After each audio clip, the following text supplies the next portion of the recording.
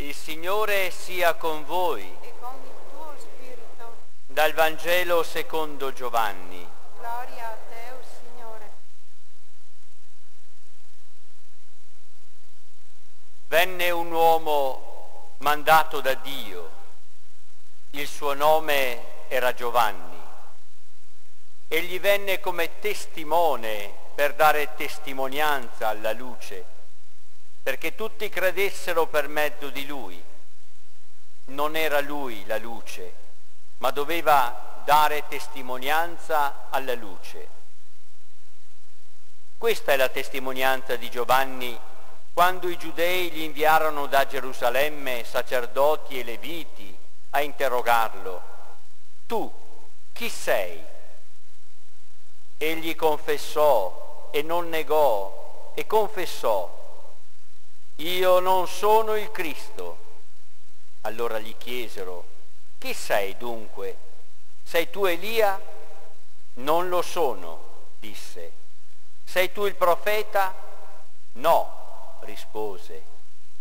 Gli dissero allora, chi sei? Perché possiamo dare una risposta a coloro che ci hanno mandato. Che cosa dici di te stesso? Rispose, io sono voce di uno che grida nel deserto, rendete diritta la via del Signore, come disse il profeta Isaia.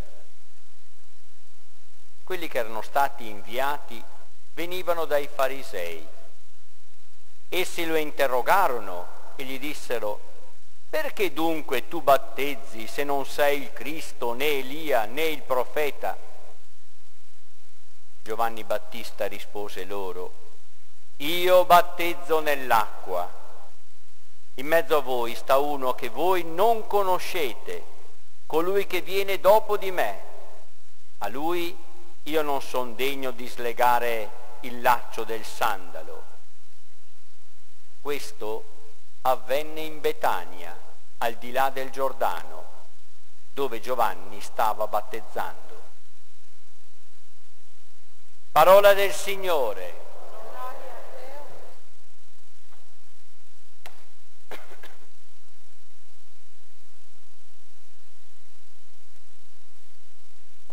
Deve essere veramente significativa la presenza di Giovanni Battista. Se la Chiesa per due domeniche in questo periodo di avvento ce lo mette davanti come figura, significativa quindi, orientativa dunque. Giovanni Battista è la voce. Ce n'ha parlato Marco la settimana scorsa. Adesso la Chiesa ha scomodato addirittura, tra virgolette scomodato, vero? L'Evangelista Giovanni, tra parentesi, quando si parla dell'Evangelista Giovanni non si dice la stessa persona di Giovanni Battista. Giovanni Evangelista è l'amico, il discepolo di Gesù, scelto da lui, mentre invece Giovanni il Battista è colui che ha preparato la venuta di Gesù, il Messia. Oggi abbiamo l'Evangelista che parla del Battista. Ed è bellissima la presentazione di questa figura ed è attualissima anche. Innanzitutto ci sono due parti in questo Vangelo. Una prima parte possiamo definirla così, da Dio, e lo dice proprio l'Evangelista annotandolo, da Dio, mentre invece la seconda parte risalta la parola da Gerusalemme. Capite allora già che c'è un salto di qualità. È un uomo mandato da Dio e allora lì dobbiamo prestare attenzione. Ma poi da Gerusalemme vogliono sapere chi è e quando si intende la parola Gerusalemme si intende l'istituzione di allora, l'istituzione religiosa.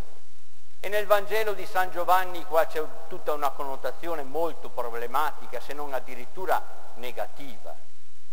Ma allora cominciamo. Venne un uomo, che bello, che è quando c'è un uomo, vuol dire anche una presenza, una persona. Che bello quando possiamo guardare negli occhi qualcheduno e dire tessinomo, tessina donna, vuol dire posso fidarmi di te.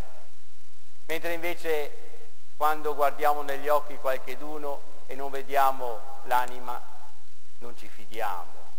E allora sì sì, puoi parlare, puoi dire quello che vuoi, tanto venne un uomo, volete che ce lo auguriamo, di trovare degli uomini autentici nel nostro cammino, delle donne di cui fidarci. Venne un uomo mandato da Dio e quindi dà una caratterizzazione ancora più rilevante, un peso a questa creatura, mandato da Dio. Il Signore stesso si è scomodato perché c'era bisogno di uomini autentici e questo Giovanni doveva essere veramente autentico per preparare le persone ad accogliere colui che stava per venire, il Messia, colui che stava per venire anche noi sapete, credo che siamo anche noi su questa strada, ma se i nostri figli trovassero in noi degli uomini, delle donne autentici, mandati da Dio, per l'amor del cielo, oggi mancano queste figure di riferimento. E dobbiamo andare in cerca nella Bibbia o dobbiamo andare in cerca nel passato ma ce ne fossero anche il presente, ve lo auguro, che nelle vostre case ci siano uomini, donne mandati da Dio. Mettete voi adesso il peso di queste parole, mettete il peso dell'onestà, mettete il peso della responsabilità, mettete il peso della generosità, mettete un'intelligenza non solamente che fa le cose del proprio interesse, ma pensa agli altri, al bene, alla crescita di quella famiglia, di quella società. Che bello che c'è quando c'è un uomo mandato da Dio. Il suo nome era Giovanni, la parola Giovanni vuol dire Dio è misericordia, ce ne fosse un po' anche quest'oggi, misericordia. Un uomo mandato da Dio, cui nome era misericordia, Dio è misericordioso. Dai, portatevelo a casa e questo nome usatelo nelle vostre case, fatelo circolare proprio, ce ne sia a bizzeffe. Egli venne come testimone per dare testimonianza. E adesso andiamo avanti, non è solamente un uomo, ma è un testimone. E capite, no? Il testimone è colui che è cambiato da ciò che ha visto, si è incontrato, ha incontrato la verità, e quindi è stato cambiato dal di dentro e allora può testimoniare. Che bello se i nostri figli possono guardare in noi e vedere dei testimoni cambiati dalla verità. E perché no, cambiati da Dio, cambiati da un incontro con il Signore, da un Vangelo che diventa sempre di più significativo, un Vangelo che diventa sempre di più fonte di beatitudine, beati beati, beati. Venne un uomo mandato da Dio testimone che poi riesce a dare testimonianza alla luce. E questa luce è Gesù, è Lui che illumina, perché, mamma mia, quante tenebre, quante tenebre, ci vuole una luce anche ai nostri giorni, ma non la vedete, non la vedete questa luce e non vedete quante persone la stanno cercando, magari i vostri figli, i nostri figli stanno cercando questa luce, allora magari la troveranno certo da soli, perché quella luce dipende dalla responsabilità di ciascuno il trovarla, ma anche dipende da, te- da testimonianze vere. Io, tu, dobbiamo essere testimoni di questa luce e i nostri giovani non potranno essere illuminati da questa verità, da questa luce che risplende se non hanno anche delle indicazioni. Quante tenebre. Dai, dai che risplendiamo come testimoni della luce. Questa testimonianza è quella di Giovanni. Quando i giudei adesso entrano in campo, entra in campo la seconda parte, dopo la presentazione dell'uomo da Dio, adesso comincia da Gerusalemme. E quindi cominciano i problemi.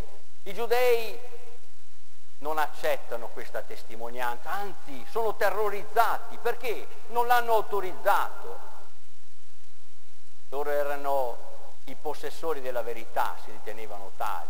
E quindi come permettere che uno parli senza l'autorizzazione? Ricordate, domenica scorsa? Non era in città, non era a Gerusalemme, ormai Gerusalemme era morta.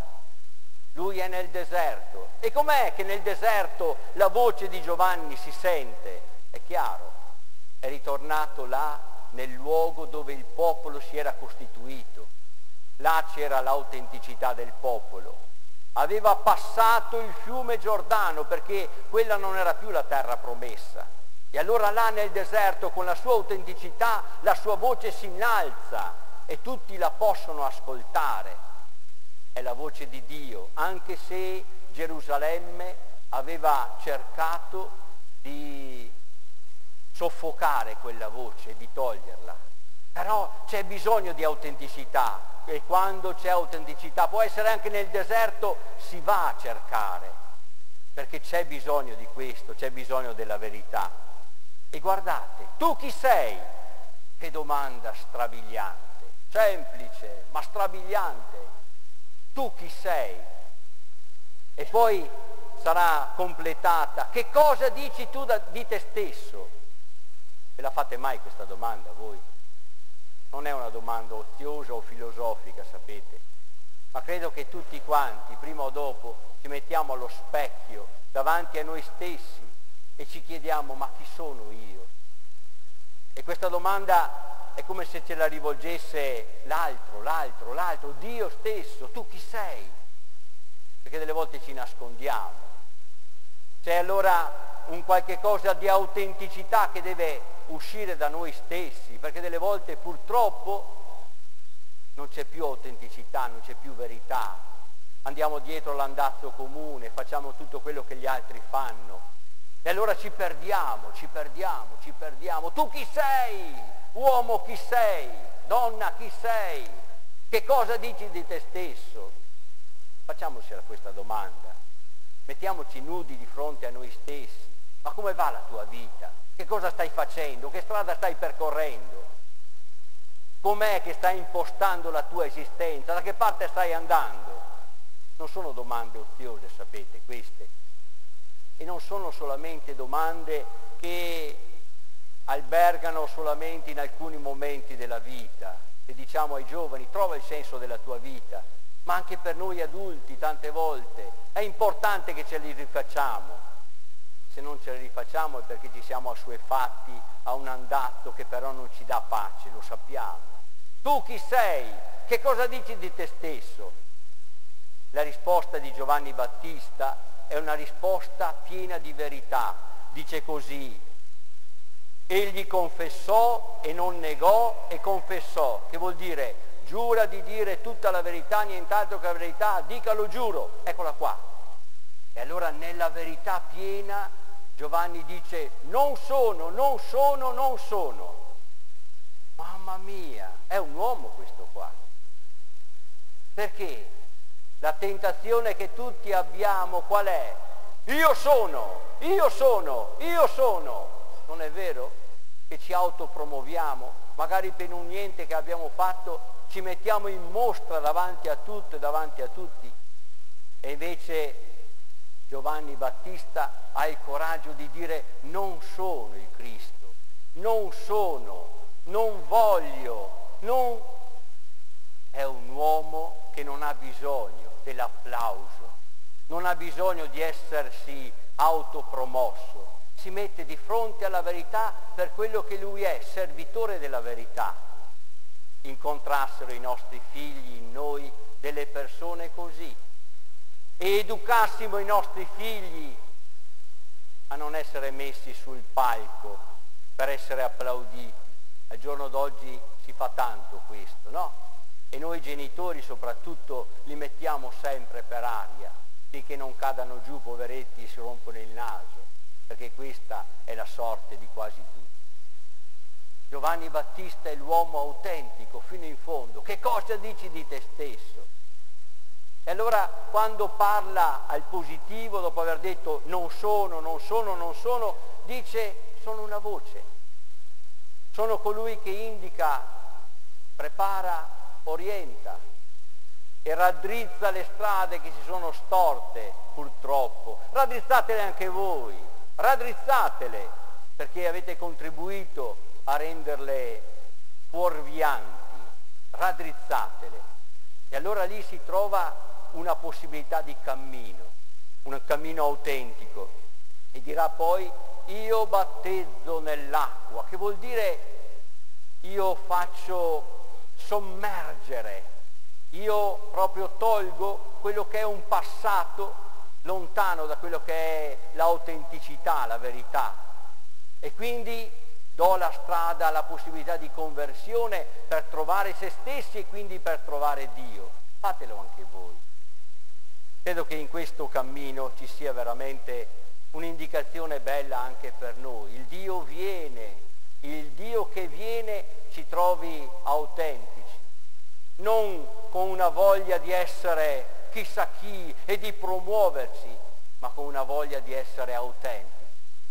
Tu che dici di te stesso, buon cammino a te.